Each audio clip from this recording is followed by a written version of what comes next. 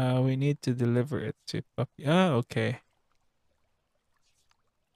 All right, this is so cool. We don't have to really look for the person. We can just drop the item in their mailbox.